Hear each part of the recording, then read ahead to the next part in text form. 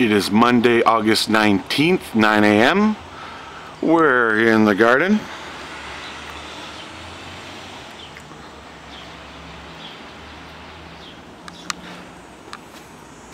So what I've got here is some red chilies. They're very hot. I got to get the capsaicin check on these things because I had one and I like had allergic reaction eating this thing. Almost died. Here's a geranium. And a nasturtium. I grew this from seed. These nasturtiums here. Grew these from seed. This is a miniature rose bush.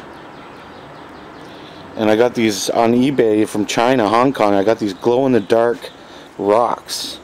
I hope they're not radioactive because they glow pretty bright at night. Then here, I've got some flat leaf parsley. Over here some sweet basil. Ocimum basilicum, as it is known in Latin. Here I've just started growing some mint. Spearmint, Mentha spicata. Over here we have geraniums, more nasturtiums. Here we got lemon boys, three of them. These are uh, on a topsy-turvy, which my mother gave to me for my birthday.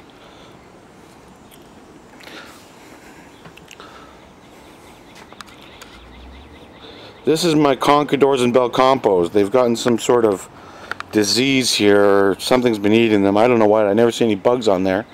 But something's happened to these. Maybe it's because of the water runoff by the eaves trough. I'm not sure. Over here we got Black Prince tomatoes. Black Prince tomatoes here. I already picked two, gave them to my neighbors. The first two went to the neighbors. Over here, we have flame tomatoes. Very large, orange and yellow by orange, yellow, and red tricolor tomatoes. Over here, cream sausage tomatoes. These Oh no, these are purple plums. Sorry, purple plums. Black uh, black plum. Sorry, black plum tomatoes. They'll be uh, purple and red. I don't know why they're called black plums because they're purple and red. Over here we have Sicilian saucers, which I don't know what's going on here. This is getting. This was my healthiest plant in the beginning, and uh, now it's not. There's one little Sicilian saucer right there. Let's go in and take a look. I'm letting it rest because these things get huge. So I'll let it I'll let it rest here. Right here. I'll let it rest. And I also got some Kellogg's breakfast tomatoes in here. They're extra large yellow tomatoes. Here, these three plots.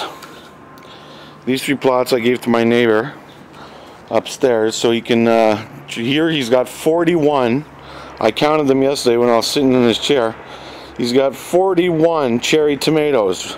It's a very good yield. Now, here we got celery, peppers, all sorts of stuff going on. He's got some, some green chilies on there looking good. Over here, potatoes, garlic.